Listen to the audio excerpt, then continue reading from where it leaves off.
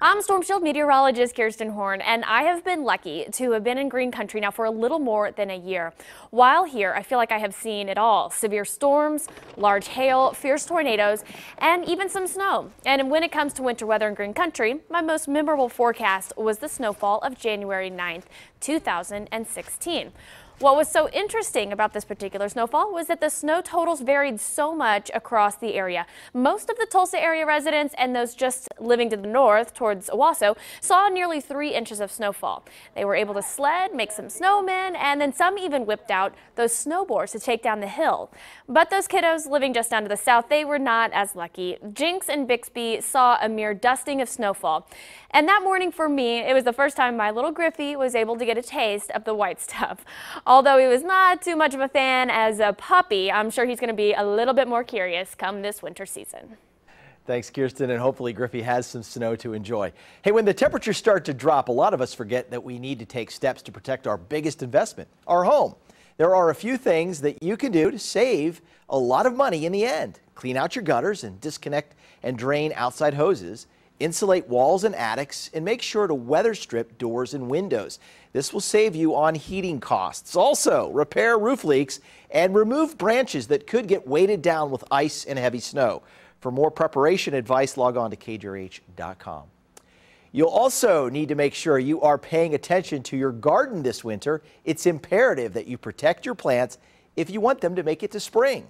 Storm Shield meteorologist Taft Price has some advice on what you can do right now to protect your garden. So, Taft, you asked me to come up with the most important weather related gardening tip. Yes, I did. That was easy. Really? The importance of watering in the winter. Watering in winter, easy to remember. But it seems almost counterintuitive to people, and yet it's so important. And evergreens are the most important thing you have to water in the winter okay. because they're still growing. Hmm. They haven't lost their leaves. They're still growing slowly, but they're growing. But I'm not talking just evergreens. I'm talking deciduous trees and shrubs, perennials, even the lawn. Really? Okay. So here's the deal. Invariably in January, we get one of those 52 degree days, right? Yeah, warm day for January. Okay. That's when you want to bust out the hose and just deep soak everything in your landscape. Okay. I mean, just if, regardless of the system you're using, but you know, if you use an oscillating sprinkler, set it out there and just let it go. Okay you want that water to percolate deep down into the soil, and that's going to help the plants. Because here's the problem people bring in plants, say late spring, early summer, and they're dying, okay? Or they show us pictures, whatever. Well, they're dying not as a result of the heat that's coming on, it's a result of the failure to water in winter. Okay, so you tell us we don't need to get out there whenever it's 15 degrees. No. So you're saying no on that. But on those days, and we know we get them in the wintertime where we get a few warmer days out there. Sure. Get the hose out there, make sure everything's watered nicely. Yeah, and then, you know, you still want to go ahead and disconnect the hose, maybe put one of those little protectors on the faucet and that sort of thing. Because we know what'll happen if we leave the hose out. Exactly, because then we're going to have one of those 60 degree days.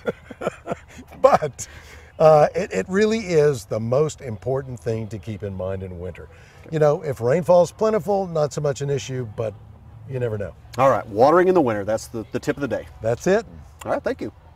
All right, thanks, Taft. Thanks, Paul James, the garden guy, with those expert tips. And remember, when the Storm Shield weather team forecasts freezing temperatures, if you can make sure to bring your plants inside, if not, you can wrap them with sheets or thick blankets.